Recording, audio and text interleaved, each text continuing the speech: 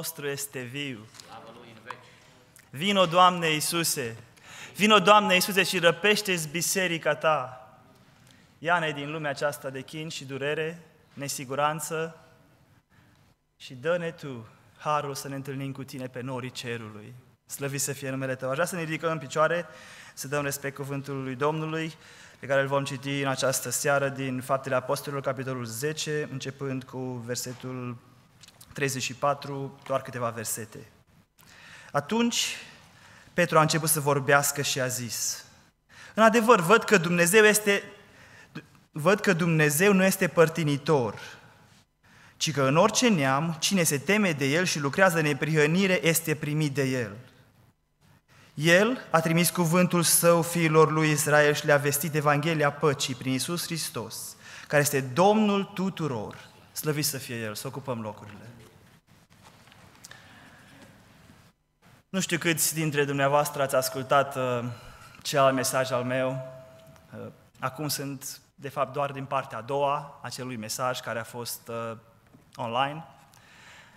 Nu știu câți ați avut harul, ați avut dorința, ați avut, ați avut chemarea să ascultați. Dar toți aceia care ați ascultat, fie ca Domnul să binecuvinteze.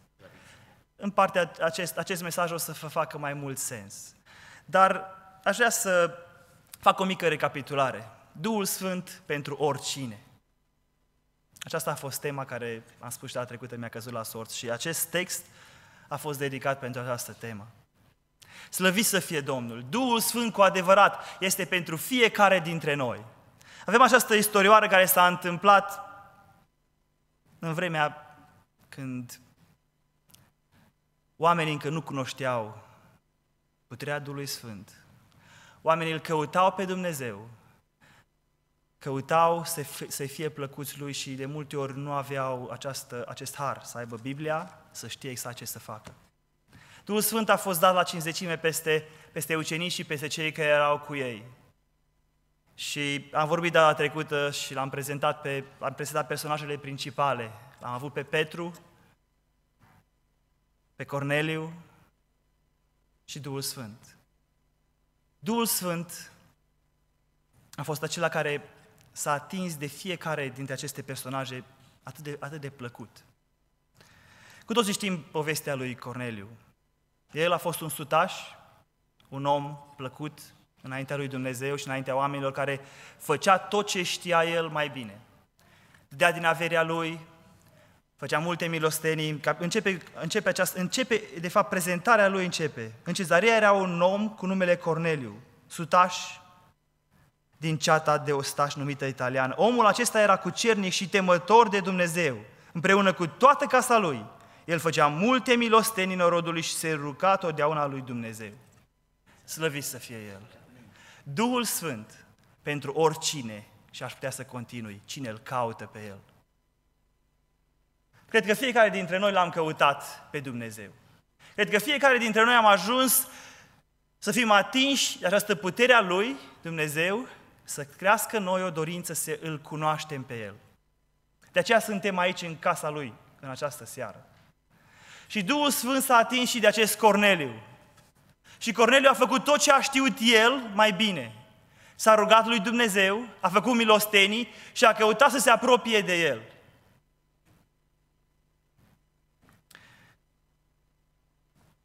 Și Dumnezeu nu s-a lăsat Dumnezeu s-a lăsat găsit de el. Dumnezeu i-a vorbit într-un mod minunat. La trecută ne-am uitat și am văzut diferența, din, diferența mare între cum vorbește Dumnezeu cu un om care încă nu a cunoscut puterea Duhului Sfânt, încă nu a fost umplut cu puterea Duhului Sfânt, și cum vorbește Dumnezeu cu un om care este plin de puterea Duhului Sfânt, care este plin de Dumnezeu, care are o relație personală cu El. Și ne-am uitat la Corneliu și am văzut că și Dumnezeu a vorbit cu el și experiența lui a fost destul de traumatică. A venit un înger la el, el s-a înspăimântat și a spus, Cornelie, nu te înspăimânta, pentru că am un plan cu tine. Voi trimite la tine un om care îți va spune ce trebuie să faci. Mi-a plăcut foarte mult acest mesaj, îți va spune ce trebuie să faci, pentru că și el continua să facă, tot făcea lucruri plăcute care el credea că trebuie să le facă înaintea lui Dumnezeu, care să fie plăcut înaintea lui Dumnezeu. Și îngerul i-a vorbit pe limba lui, îi spune ce trebuie să faci. Dar dacă ne uităm mai departe, ne uităm la ceea ce spune Petru, aceleași cuvinte care le-au, de fapt, a, a spus aceleași cuvinte care le-a spus îngerul și spune, îți va, îți va vorbi despre mântuire. Lăsați-mă puțin să caut.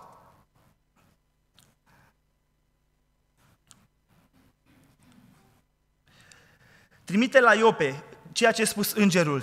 Prima dată a spus,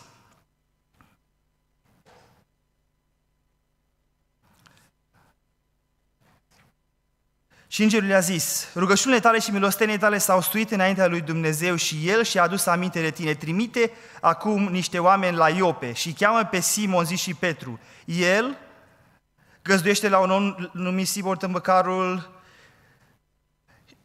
care stă lângă mare. Acela îți va spune ce trebuie să faci. Și după aceea spune din nou aceleași cuvinte în, versetul, în capitolul 11, versetul 13. Trimite la Ope și cheamă pe Simon zi și Petru, care îți va spune care îți va spune cuvinte prin care vei fi mântuit tu și casa ta. Nu vi se pare interesant această diferență? Noi tot facem de la noi, noi, noi încercăm să facem, să facem, să facem. Dar dacă nu facem ceea ce Dumnezeu dorește cu adevărat de la noi, nu știu în ce direcție vom ajunge. Cuvintele mântuirii, dacă avem pe Hristos în noi și ne lăsăm ghidați de El, atunci vom face cu adevărat voia lui Dumnezeu.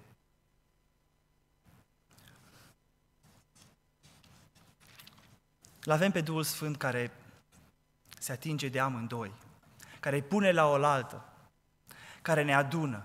I-a, i-a pus la oaltă și pe acești doi, pe Petru și pe Corneliu, și s-a născut, aș spune, aș spune noi, Biserica Neamurilor. Prima biserică, Corneliu și toată casa lui a fost botezată cu Duhul Sfânt. Slăvit să fie Domnul. Fiecare, fiecare și biserica noastră, Filadelfia, să fie botezată cu Duhul Sfânt, să fie plină, umplută cu Duhul Sfânt. În vremurile acestea avem atât de mare nevoie. Mă văd de multe ori. Mă rog și este bătălie. Vin aici, parcă astăzi mai mult ca și niciodată am cea mai mare, cele mai mari emoții. Cu toate că trebuie să spun ceea ce am spus mai, mai înainte și parcă nu găsesc cuvintele. Trăim o bătălie totdeauna, precum și la Corneliu. Rugăciunile noastre este o bătălie ca să ajungă până sus. Și oare stăm noi pe genunchi destul? Am petrecut noi destul timp pe genunchi ca să, să avem biruință. Să se spună și despre noi, rugăciunile tale au ajuns până la cer și vei primi răspuns. Aș vrea să ne uităm în această seară pentru că spun Duhul Sfânt pentru oricine. Noi ca și Pentecostal avem tendința să ne uităm și să spunem darul Duhului Sfânt pentru oricine. Toată lumea are, are nevoie de darul Duhului Sfânt și de darurile Duhului Sfânt în viața mea să se manifeste, în viața mea prorocie, vedenii, vindecări. Slăvit să fie Domnul, avem nevoie de ele, avem nevoie ca biserica să fie plină, oamenii lui Dumnezeu să fie înzestrați cu daruri. Dar această seară vorbesc despre această relație pe care trebuie să o avem cu Duhul Sfânt, ca și persoana Trinității. Cu Duhul Sfânt ca și o persoană. Ne-am uitat data trecută cum a vorbit Petru cu Duhul Sfânt. Care a fost conversația lui Petru cu Duhul Sfânt? A trebuit să fie lămurit Petru să poată să meargă să predice Evanghelia la neamuri. A fost o conversație ca și între doi prieteni. Duhul Sfânt, ca și persoană, și începe lucrarea în noi, și odată ce a început lucrarea în noi, noi trebuie să ne deschidem inima și să ascultăm sfaturile Lui. Pentru că dacă noi vom face tot planurile noastre și tot direcția noastră și vom urma tot ceea ce noi avem în gând să facem, încet, încet nu vom mai auzi susurul blând al Duhului Sfânt și încet, încet omul din lăuntru va muri. Cineva spunea, un, un mare predicator român spunea, imaginează-ți dacă tu ți-ai hrănit trupul tău doar cu un măr pe zi sau o jumătate de sandwich pe zi, oare cât timp ai putea să trăiești? Pentru că dacă ne hrănim omul nostru dinăuntru doar cu 5 minute de rugăciune și poate două versete din Biblie pe zi, cât credeți că vom putea să trăim? Bună întrebare. Este o vorbă în România. Spune-mi cu cine te însoțești ca să spun cine ești.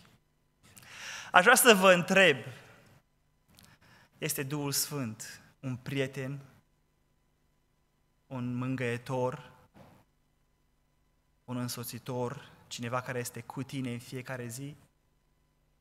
Te, îți pui tu încrederea că El te va ghida în fiecare zi pe calea cea bună? Te însoțești tu cu El? Te are El pe tine ca și prieten? Pentru că și noi ne întrebăm, noi între noi ne întrebăm foarte mult, o ai tu pe Duhul Sfânt? Dar în această, în această seară te întreb, te are Duhul Sfânt pe tine? Și trebuie să recunosc că am fost puțin intimidat când mi-am văzut timpul, mi-am pregătit probabil iarăși prea mult sau altceva și de aceea a fost această introducere mai mult, mai lungă și puțin încurcată probabil. Vreau să ne uităm ce face acest Duh Sfânt în inima noastră.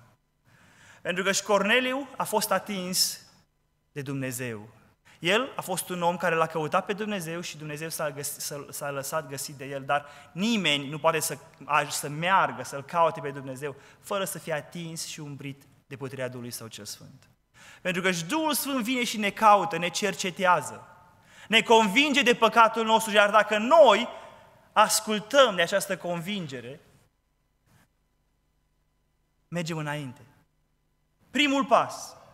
Duhul Sfânt vine și ne convinge că suntem păcătoși. Aceasta este prima lucrare a Duhului Sfânt care trebuie să fac, care o face în inimile noastre. Ne îndeamnă la pocăință. Și mergem pe tema pe care o avem. De multe ori ne uităm, vine unul la noi în biserică plin de tatuaje sau miroase a tutun de la 2 metri stai, parcă toată lumea se, se stă, stă în jurul lui și nu știi de ce nimeni nu stă în jurul acele, acelei persoane. Fratele meu și sora mea, în primul rând îmi vorbesc mie, Duhul Sfânt este pentru oricine. Duhul Sfânt a adus și pe acea persoană în casa lui Dumnezeu. Și Duhul Sfânt așteaptă de la tine să mergi să vorbești cu El. Nu să-L pismuiești, să-L judeci și să-L respingi. În această seară vreau să ne, să ne deschidem ochii să vedem că suntem chemați să fim activi. Dacă ești de 5 ani, de 10 ani, de 25 de ani, de 30 de ani, plus ca și mine într-o biserică, și faci aceeași lucrare și același lucrare și parcă, parcă nu ți-ai găsit încă direcția și chemarea. Și tu totuși spui că faci parte din biserica lui Dumnezeu, botezată cu Duhul Sfânt, plină de putere. Ar vrea să te întrebi de două ori dacă tu ești plin de putere. Ar vrea în această seară să iei, să, iei legătu- să iei o hotărâre nouă în care să spui, vreau să fiu umplut din nou de putere. Frații mei, viața este scurtă. Nu știm dacă mâine este a noastră. Dar dacă doar venim de dragul de a fi aici, de a ne vedea unul pe celălalt, fără să fim plini de putere, fără să avem o relație personală cu Duhul Sfânt, cu Dumnezeu, fără să avem, să avem din El în noi, nu știu unde vom ajunge. Dar odată ce Duhul Sfânt a venit și a chemat probabil un musulman, probabil un bețivan, probabil un alt om de altă culoare sau naționalitate și l-a chemat în, în, în casa Domnului. L-a pus lângă tine. Aș vrea să asculți și să te întrebi oare ce vrea Duhul Sfânt de la mine, oare ce vrea Dumnezeu de la mine, dacă mi-a dat locul acesta de muncă, dacă, dacă m-a pus la școala aceasta, ce vrea Dumnezeu să fac? Pentru că și ne uităm la Corneliu, Corneliu a fost un om foarte activ, a făcut foarte multe lucruri, de aceea, oamenii activi, ne-am uitat data trecută și la, și la, la convertirea lui, lui Pavel. Oameni foarte activi, oameni care au făcut tot ceea ce au știut ei pentru Dumnezeu. De aceea, Duhul Sfânt a venit, i-a atins și a continuat să lucreze prin ei. Domnul Dumnezeu are nevoie de oameni activi în casa Lui, de oameni care sunt gata să lupte pentru mântuirea sufletelor, mântuirea altora. Și odată ce oamenii aceștia vin în casa lui Dumnezeu, odată ce tu ai venit în casa lui Dumnezeu și ai acceptat să fii, să asculți cuvântul mântuirii, se întâmplă această transformare, această naștere din nou. Această transformare minunată unde vin și mă proștern înaintea lui Dumnezeu și spun, Tată, ia-mă în mâna ta. Pentru că și eu, parcă tot am făcut ceea ce am vrut eu și ceea ce am crezut eu, dar vreau să faci tu ce vrei cu mine. Și în această seară, mie personal, Domnul îmi spune, lasă-te în mâna mea, Daniel. Și lasă-te în mâna mea, Ioan și Maria. Lasă-te în mâna mea pentru că eu vreau să lucrez. Dacă spui că ești un creștin născut din nou, lasă-te în mâna lui Dumnezeu ca El să lucreze și El cu adevărat să schimbe viața. Pentru că și Duhul Sfânt are această, acest, acest frumos dar de a sta lângă noi și în noi și a povesti cu noi și a ne lămuri care este planul său și, și lucrarea sa. Și aici aș vrea să fac o mică paranteză.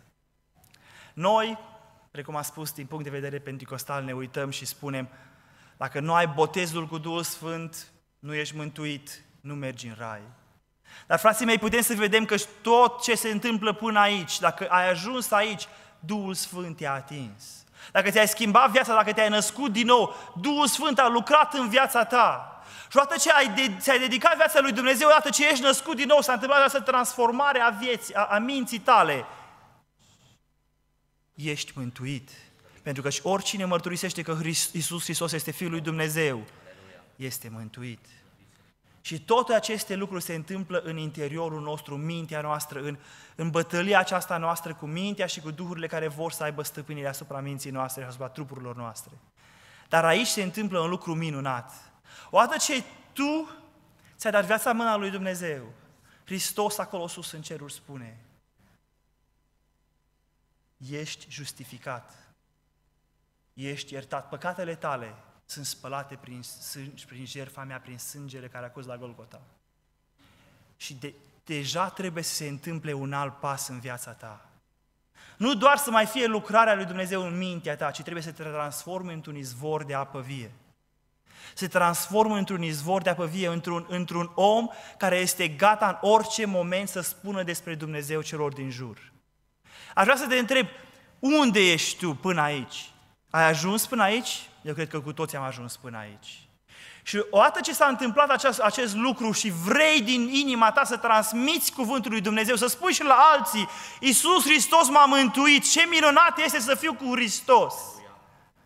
Atunci urmează următorul pas, care multe religii, multe denominații, aș zice eu, îl judecăm greșit, este o teologie diferită. Botezul cu Duhul Sfânt. Atunci, Duhul, atunci Dumnezeu vine și ne înzestrează cu daruri și cu capacități ca să putem să vorbim, să putem să facem lucrurile care El dorește să le facem. Pentru că și El nu ne va lăsa singuri și nu ne va lăsa orfani, ne-a promis Iisus Hristos când s-a înălțat la ceruri și ne va umplea cu puterea Duhului Său ce Sfânt. Va trimite un mângăietor, va trimite o putere peste noi. Pentru că și Duhul Sfânt, acesta care este cu noi și în noi, El ne dă putere. El ne umple, El ne dă înțelepciune, El ne dă har. Și dacă vrea să, dacă ne uităm, ceea ce se spunea în Vechiul Testament, este acest Duh Sfânt care va fi lăsat în primul rând peste Isus și în același timp peste noi. Și spune despre Duhul Sfânt. Și Duhul Domnului se va odihni peste El, despre Isus. Și ce dă acest Duh Sfânt? Duh de înțelepciune, Duh de pricepere, Duh de sfat, Duh de tărie, Duh de cunoștință, Duh de frică Eh, duh de cunoștință și de frică de Domnul. Plăcerea Lui va fi frica de Domnul. Se vede în noi frica de Domnul? Suntem noi, avem noi această frică în noi să călcăm strâmb. Dacă ești singur și nu te vede nimeni, îți este frică să furi, îți este frică să mințești, îți este frică să te uiți unde nu trebuie să te uiți, pentru că știi că și Domnul este cu tine în fiecare clipă. Următorul, tot în, în Isaia, am citit din Isaia 11 cu 1, acum vreau să citesc din Isaia 61 cu 1. Duhul Domnului, Dumnezeului meu, este peste mine, căci Domnul m-a uns să aduc vești bune celor nenorociți. Deci este Duhul Domnului peste noi? Deci este Duhul Domnului peste mine, peste tine? Atunci când vezi un om supărat, atunci când vezi un om, un om necăjit, un om cu un problemă, să mergi să-l întrebi cum este el. Să mergi să-l întrebi care este viața ta. Să mergi să-l întrebi, să mergi să faci o acțiune, să, să, să ieși din zona ta de confort. Pentru că și dacă ești plin de Duhul Sfânt, precum a spus, trebuie să curgă din tine acest, acest har al lui Dumnezeu. Să se vadă în tine că ce ești diferit. Tânjesc în fiecare zi. Aș vrea să putem să ieșim și să avem un impact în lumea aceasta în care trăim, să avem un impact în, în acest cartier, în Areoară Nord, să avem un, un impact în orașul în care suntem. Este foarte greu pentru că suntem o biserică o, pentru naționalitate, pentru români, dar și între români, dar nu numai, pentru că avem tineri. Tineri care vorbesc engleză atât de bine.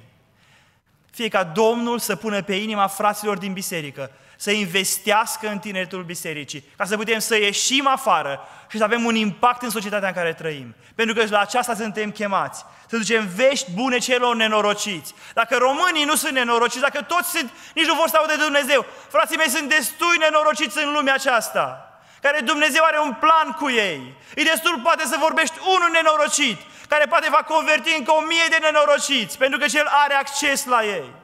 Dar frații noștri, trebuie să mergem spre ei. El m-a trimis să vindec pe cei cu inima zdrobită. Îmi place că nu spune m-a trimis să vindec, pentru că Iisus a vindecat.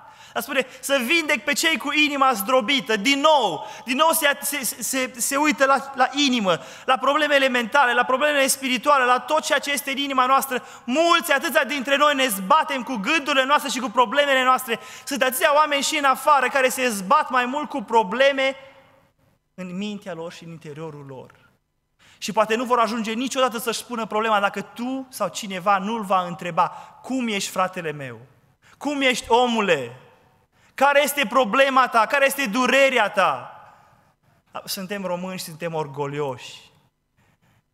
Chiar dacă probabil de-abia aș avea bani să-mi cumpăr mâncare, nu aș avea curajul, nu curajul, aș fi destul de mândru încât să nu mă duc să cer de la altcineva, să zic, băi, și dacă stau lucruri, I don't know ce, decât să cer să spun la alții că nu am. Pentru că așa suntem noi. Dar de aceea este nevoie de oameni care să vină să te întrebe, să te descoase. Fie ca Domnul să dea aceste daruri printre oameni, să fie peste noi aceste abilități care Duhul Sfânt le lasă. Dacă spune că suntem o biserică botezată cu Duhul Sfânt, să facem aceste lucruri. Să vestesc robilor slobozenia și prinșilor de, de război izbăvirea. Slăvit să fie El. Vreau să merg mai departe. Mai am puțin timp și nu mai este mult. Oată ce ești botezat cu Duhul Sfânt, oată ce îți dai seama ce trebuie să faci. Frații mei, este atât de minunat să iei un plan, să-ți faci un plan cum să fii plăcut lui Dumnezeu. Pentru că noi dacă, dacă, dacă ne oprim la vorbire în alte limbi, dacă ne oprim doar la, la aceste, aceste experiențe care o avem pentru noi, Duhul Sfânt a fost dat, ne-a fost dat nouă să le crească pe noi, dar pentru alții să, ne, să transformăm întreaga lume, să putem să vestim cuvântul Domnului la alții.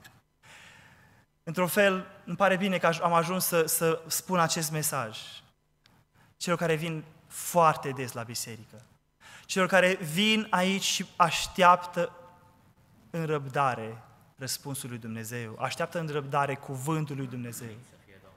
Nu pot să spun că eu sau de la mine a venit ceva, dar pot să spun cu toată inima, căci Dumnezeu are un plan cu fiecare dintre noi. Dumnezeu are un plan cu fiecare dintre noi, pentru că dacă dumneatale, frate și soră, nu ai fi venit aici, de fiecare dată, cu nădejdea că biserica asta va fi plină și joia într-o bună zi.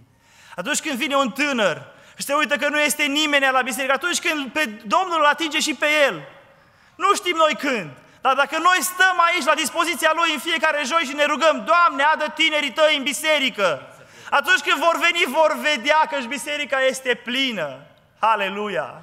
Vor vedea că oamenii lui Dumnezeu îl caută cu adevărat și nu doar vorbesc de felul lor de a vorbi, ci fac, ci sacrifică din timpul lor, din banii lor, din energia lor, ca să se pună la dispoziția lui Dumnezeu. Și atunci când va veni tânărul acela, sau atunci când va veni cel lovit,